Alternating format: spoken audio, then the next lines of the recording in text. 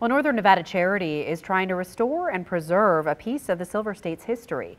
You might have heard of the Sutro Tunnel, a nearly four mile stretch from Dayton to Virginia City.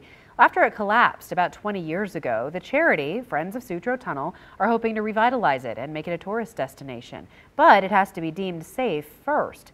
Michelle Lorenzo is live in the newsroom with a look at the restoration efforts. Michelle, have they been able to make any progress? Yeah, Ari, actually today a team was sent out to the site to collect data on the tunnel's condition. Friends of Sutro Tunnel hired E-Rock Associates who used drones to gather the information. No one could squeeze through this blockade of collapsed timber at the entrance of the Sutro Tunnel. But even if they could, it wouldn't be safe. We don't know the condition of the inside of the tunnel. You send a person in there, and because of the air quality, they could die just from methane gas, from carbon monoxide, carbon dioxide, who knows what else.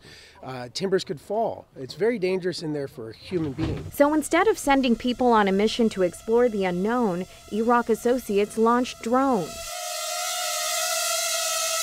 Because the diameter is 14 inches, the drone is able to fit in tight spaces and capture video footage like this from inside the tunnel. It was able to go in as far as 500 feet. The drone will go in there and surmise if the air quality is okay for humans and if the ground conditions are okay. Some drones will also map the space with LiDAR technology. It just capture a bunch of imagery that can be stitched together and, and put together with very high accuracy to, uh, to show the conditions. The information collected will help friends of Sutro Tunnel determine their next move in restoring the old mining site. The goal is to eventually open it and make it a tourist destination. One of the ideas right now is once we get it open up a certain distance, maybe put a little bar back there, which would be a lot of fun, and then incrementally reopen the tunnel. Then we could have ore carts, maybe bring people from here all the way back and back again. Pretty cool. Now, Friends of Sutro Tunnel hopes to start clearing out the tunnel this year, but they need donations to continue restoration efforts. Cleanup could cost more than $300,000. To learn more about the site or donate, you can visit our website, 2news.com.